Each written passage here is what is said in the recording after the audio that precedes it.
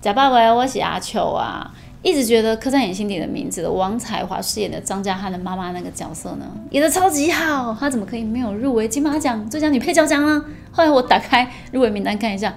哦，恍然大悟，应该是被亲爱的房客的陈淑芳阿姨同类排挤效应的类型的角色去比下去的。简而言之，就是不论是柯尼的妈妈还是凡客的妈妈，都是很重要的同志的妈妈的角色。那同志的妈妈的角色这一题有多重要呢？你去看《刻在你心底的名字》或者《亲爱的房客》，就会知道说，嗯，陈淑芳阿姨她饰演的周秀玉的这个角色，哎，算是郑有杰导演在《亲爱的凡客》这部整部电影里面，算是被刻画的最完整、最有血有肉的一个角色。这世界上其实我们不知道有多少的同志，他们虽然可以云淡风轻的说，哎，虽千万人而无往矣，没有在撤小这个世界，可是他他们都会过不去的一个关，叫做妈妈那一关。他们是同志心中最难割舍的一块软热。那如果获得妈妈的理解，呃，就会变成他们人生中最大的救赎。那可能对同志来说就真的很重要。我们来看一下阿姨的战力分析图。阿姨她的人设呢，会给她五分，真的不是在给假的，因为她在故事里面饰演的可是男主角林建一的婆婆啊。我的婆婆那么可爱，今年大家都知道。但如果同志的婆婆也那么可爱的话，那根本就是一万分，不用比金马奖了，直接把讲座颁给陈淑芳阿姨就可以了。淑芳阿姨的施展空间非常的满，不得不说这个五分。施展空间的五分有一点点小作弊，因为毕竟在《亲爱的房客》里面，陈淑芳阿姨其实是用女主角的呀的份去竞争最佳女配角奖的，所以观众可以很足够的看到很多的篇幅去理解这个台湾的苛刻的妈妈的角色。在电影里面呢，嗯，周旭玉一开始非常的无情，就是一个无情的臭老太婆，甚至有点狠，非常凌厉的存在。那媳妇林建英不论做的再怎么多，还是都会呛他说：“你给起你这件你追我干的。”哇过来吗？艾希就是那种非常不近人情、很难以取悦，可是又非常写实的台湾婆婆的那种糟老太婆的形象。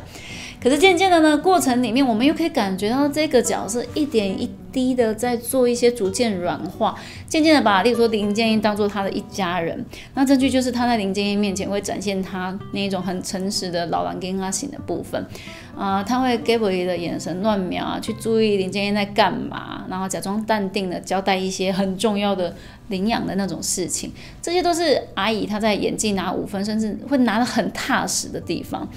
而且后来他甚至会直接在口头上跟林建一和解，甚至是认同林建一，也就是这样。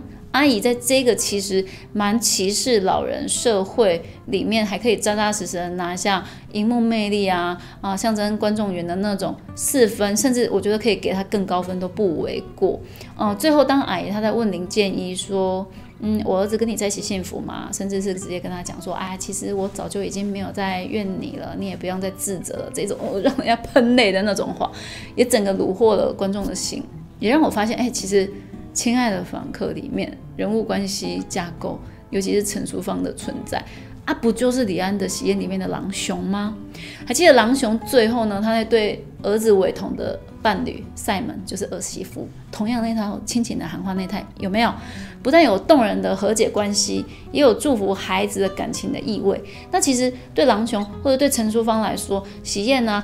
嗯，亲爱的房客，儿子其实刚好，他们的儿子刚好都有生小孩啊，所以他们其实呃每天啊有得到孙子。对这种长辈来说，在情理上很容易，更容易对同志儿女的爱情给予祝福，和解门槛变低的意思。不过喜宴是发生在二十七年前，而且是一个喜剧包装的故事。亲爱的房客时代背景设定在九年前，二零一一年。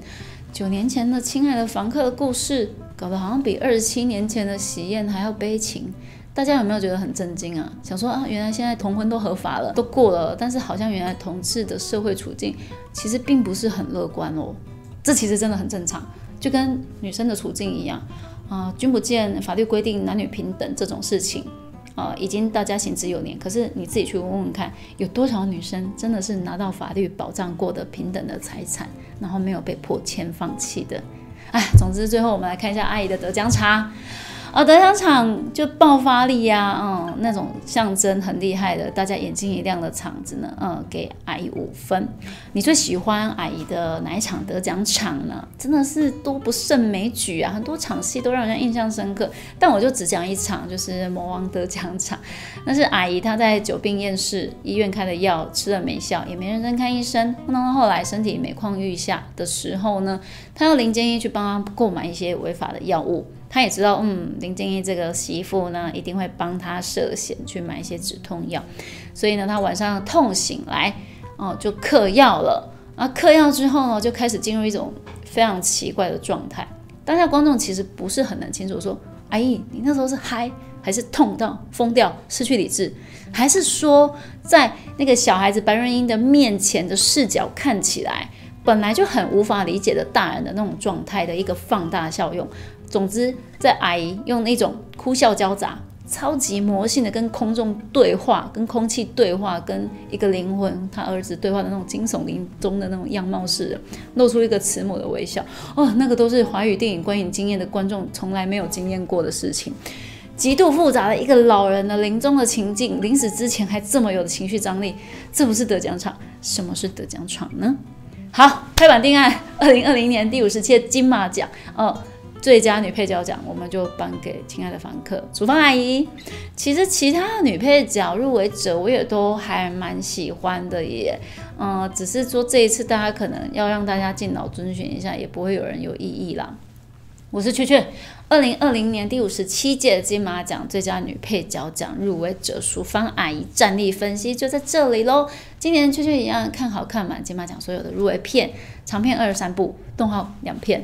呃，短片十部，还有五部纪录片，其中一部还超级长，一共四十部电影啊，都有看好看满。欢迎敲碗其他奖项或入围者的战力分析影片哦。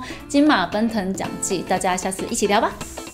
哟，Check it out，破万了！谢谢大家支持。想要听什么雀雀讲的影剧吗？嗯，欢迎留言再告诉我，任何地方都可以跟我交流。还有什么啊？破万要亏我哎，一起来！